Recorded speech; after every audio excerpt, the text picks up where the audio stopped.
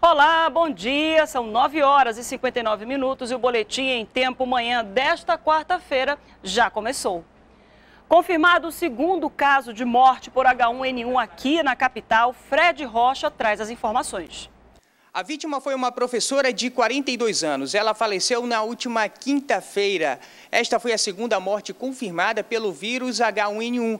A primeira foi em março de outra mulher que contraiu o vírus no Rio de Janeiro.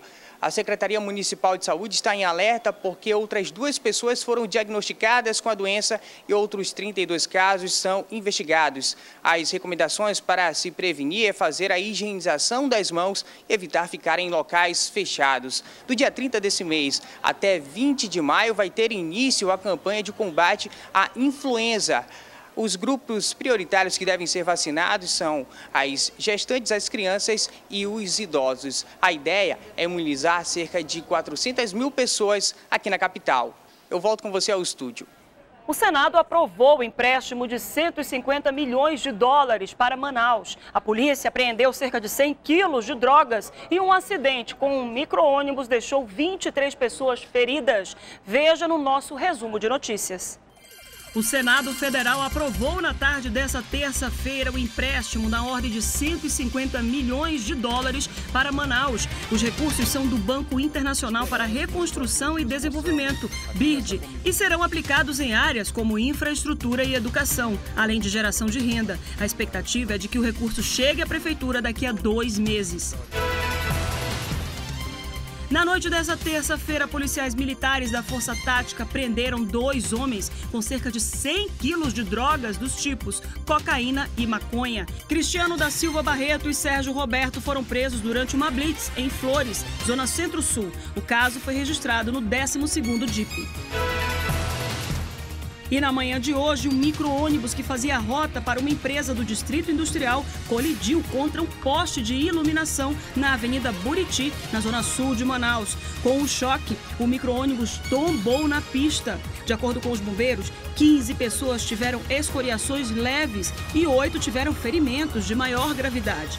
Representantes da empresa estiveram no local, mas não quiseram falar sobre o acidente. Segundo testemunhas, o motorista estava em alta velocidade porque a rota estava atrasada.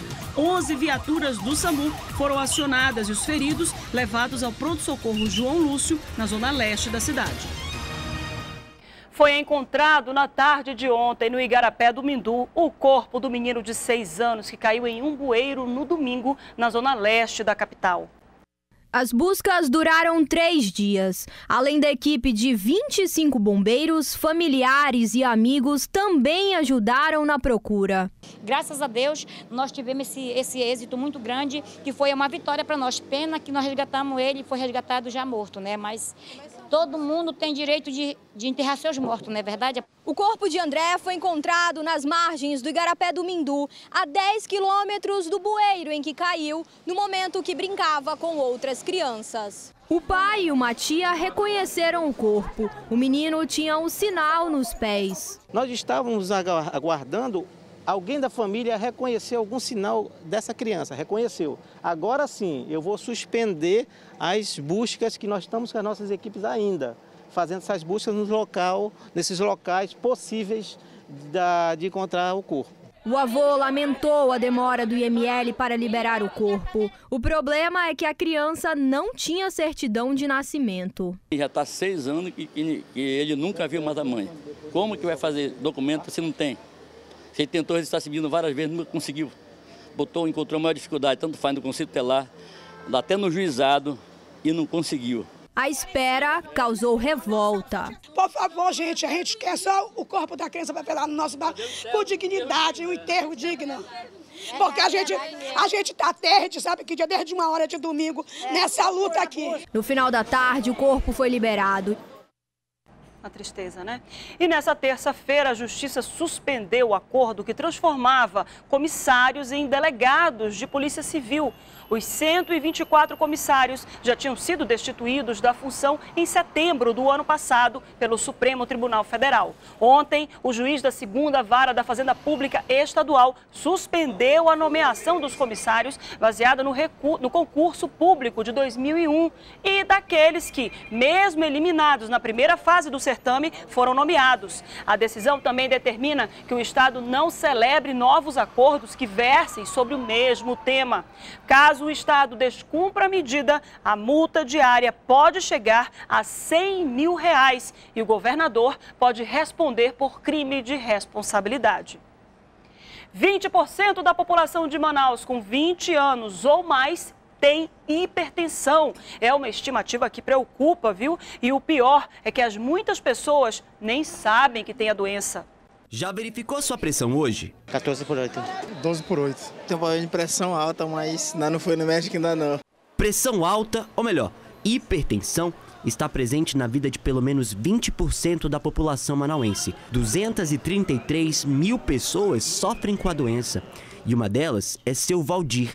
Ele já infartou duas vezes. O motivo? Estresse. Dia 5 de maio de 96 eu infartei. Depois, quando foi em novembro, eu fui para São Paulo, né? Aí eu fiz a primeira, primeira angioplastia. Hoje, depois de quatro cirurgias, ele se trata direitinho e segue à risca as orientações da cardiologista. Hipertensão é quando a pressão arterial é igual ou maior que 14 por 8. Ela sobe por vários motivos, mas na maioria das vezes é quando os vasos nos quais o sangue circula se contraem o coração e os vasos podem ser comparados a uma torneira aberta ligada a vários esguichos. Se fecharmos a ponta dos esguichos, a pressão lá dentro aumenta. Há um fundo genético pessoas filhos de pais e mães hipertensos tendem a ter uma chance maior de tornarem-se hipertensos, mas também há de se ressaltar os fatores ambientais, como uma dieta inapropriada, rica em sódio, pessoas sedentárias que não fazem atividade física, pessoas que fumam e que ingerem altas quantidades de álcool. A doença não tem cura e ataca o coração, rins e até o cérebro. 45% dos ataques cardíacos no Brasil estão relacionados à hipertensão arterial e 51% dos derrames cerebrais também têm relação com a doença. 47,5 milhões de brasileiros têm hipertensão hoje aqui no Brasil. São 300 mil mortes registradas todos os anos, 30 por hora e uma a cada dois minutos. E essa doença, na maioria das vezes, é silenciosa. São pacientes com mais idade, acima de 50 anos, e geralmente assintomáticos. Muitas vezes eles não sabem que são hipertensos, não sabem que são diabéticos. Então é necessário e fundamental vir uma consulta de check-up numa unidade básica de saúde, fazer a ferição da pressão arterial e fazer os exames de check-up. De Maués, seu Raimundo veio se tratar na rede pública de saúde. Eu sentia muita quentura, não sabia o que era. Aí foi uma, uma equipe médica lá e quando eu fui, eh, foi tirar, medir a pressão, minha pressão estava bem alta e desde lá eu vim sofrendo de pressão. Evite transtornos. Já verificou sua pressão hoje? Há pouco menos de duas semanas do Dia das Mães, algumas pessoas aproveitam para limpar túmulos e sepulturas.